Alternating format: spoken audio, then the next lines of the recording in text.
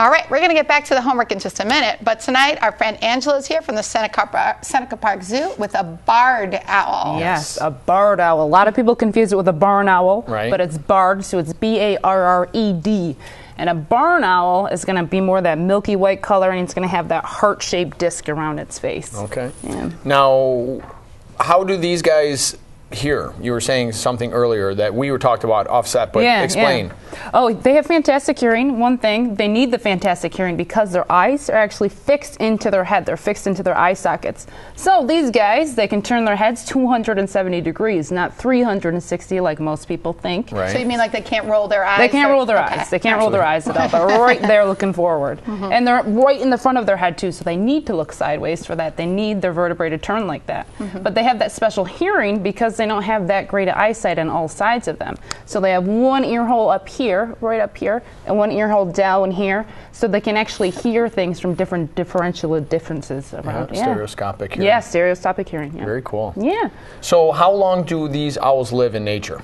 In nature, they're only going to live to be about five years old. They actually have one big predator, and that's the great horned owl, another ah. type of owl. Mm-hmm. And that's an owl you're going to see in a lot of places because it actually has those ear tufts, those little mm-hmm. tufts above its head. Um, and that's how you can tell it's a great horned owl. Okay. Um, and also humans. Humans are a big predator of them. Just encroaching on their territory, they're Sure. losing their habitat. Yeah. So would we see one of these around New York State? You might. They are from New York State. They live in North America, but they're kind of secretive. They are nocturnal, so they're very active in the middle of the night. Okay. Um, but they live in dense, mature forests as opposed to the outskirts of forests. Okay. So if you were camping and you had a campfire, they might be actually attracted to the campfire because they're going to go for the larger insects that are flying around that Oh, light there. Okay. So, are these birds uh, carnivores or omnivores? They are carnivores. Um, you can tell a lot by a bird by its beak and its feet. Okay. Mhm. So if you look at Othello here, he has that sharp curved beak and these sharp curved talons or nails on his feet, and he uses those to tear into meat so he can eat it. So he's strictly a carnivore.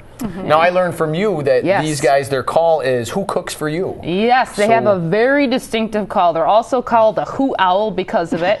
uh, and yeah, when they hoot out, when they call out, they have a very distinctive who cooks for you? Cool. And they do it in a series of eight. And if they're in the woods at night at that campfire, maybe they might swoop down to get those insects. If you do that in a series of eight, they might answer back to you. You might actually see one. So a series of eight, they say it eight times in They a row? They say it eight times and they wait for the response. They wait for another owl to respond to it. Yeah. Right. Now, um, is this owl able to fly? Seeing that it's at the zoo. He is not really able to fly. He actually came to us in 2002 because he had a wing injury and he was deemed if he was re released in the wild, he would not be able to hunt for himself. So we got him here at the zoo and we're very excited to have him. Um, so we think he's in his mid teens, we think he's around 15. And at zoos, they can live to be in their late teens. So he's getting up there. He's Very getting cool. up there in age. Now, their talons is it? Yes. It's, it's similar to our fingernails. Yes, keratin. Keratin is the same material that your hair and your fingernails are made of. And a lot of animals have keratin. A rhino's horn is made out of keratin. A turtle or tortoise shell is made out of The keratin. beak the same way. Yeah, the same way, actually. It's just a different kind of formula and a makeup of it. So do they need to keep them sharpened? How would they keep their claws sharpened and their beak sharpened? Um, they don't really need to sharpen it too much. They might clean it off. They, Okay. You might see them rub their beak or rub their talons, but they don't actually have a problem with sharpening it because they keep growing. It's just like your fingernails. If you were not to cut your fingernails, they would get pretty long and Sure, curly. We've seen that like they're like. Yes, yes, you have. So what are, what would be some other adaptations that this animal has for survival in nature? Well, one thing that owls have that is very rare is they have silent flight, which means that the feathers on their wings are actually serrated. And there's primary feathers, which are right here. Whoop, whoop, whoop, whoop, whoop. And that's working with live animals, ladies and gentlemen. They're kind of like a comb.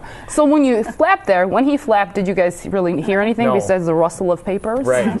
yeah, they have those serrated feathers right here that actually absorb sound. Wow. So when they're perched high up on a tree and they're diving down for a prey, the prey's not going to hear them coming at all because of all that sound absorption. Very cool. Yeah. Wow. Well, thank you very Thank much you for for coming. bringing Yeah, up thank you up owls. guys. Thank you, Angela. Uh, He appreciates it. Thank you.